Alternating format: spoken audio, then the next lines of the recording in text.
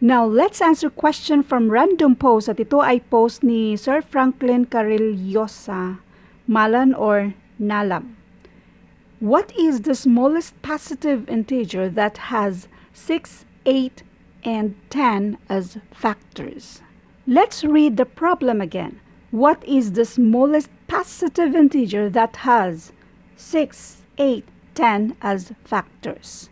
Ang ganitong tanong, ang hinahanap lang natin dito ay yung least common multiple. Solution number 1.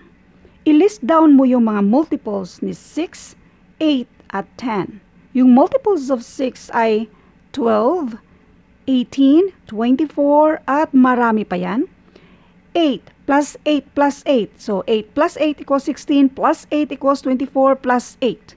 Tapos multiple of 10, 10, 20, 30, 40, hanggang may pareho silang mga numbers or multiple. Ngayon, kung ramdam mong ubos na yung oras mo sa kakalist down ng mga multiples nila, let's do solution number 2. Doon ka lang titingin sa may pinakamalaking number, which is yung 10. So, doon ka mag-focus sa 10. Now, yung multiples of 10, 10, 20, 30, 40, and so on. Ang 10, ma-divide ba ni 6 at 8? Hindi.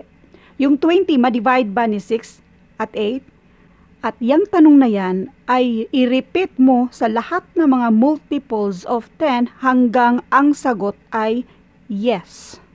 Pero kung ramdam mo na rin na ubos na rin, mauubos din yung oras mo, kung ganun ang gagawin mo, let's do Solution number 3. I-multiply mo lang si 6, 8, at 10.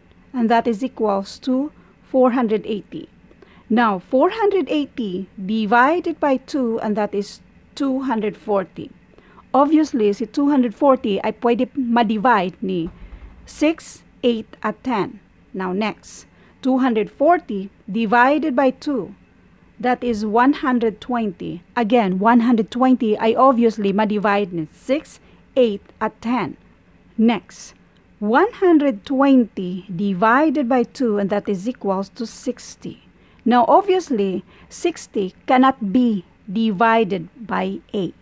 So, therefore, ang least or smallest positive integers na may uh, 6, 8, at 10 na factors ay itong 120. So, ang sagot dito ay 120. Now, let's do the best solution in solving this problem. So, i-erase muna natin ito para may space tayo sa next na solution natin. So, meron na tayong solution 1, 2, and 3. Now, let's do solution number 4. Tawagin natin itong division method. Or kung meron kayong mas magandang or yung exact name nito, paki-comment na lang. 6, 8, 10, division method. I-divide natin siya ng 2 kasi lahat sila ay ma-divide ng 2. 6 divided by 2 and that is equals to 3. 8 divided by 2 and that is equals to 4. 10 divided by 2 and that is equals to 5. 2 times 3 times 4 times 5 and that is equals to 120. Yan na yung sagot. Now, let's do solution number 5.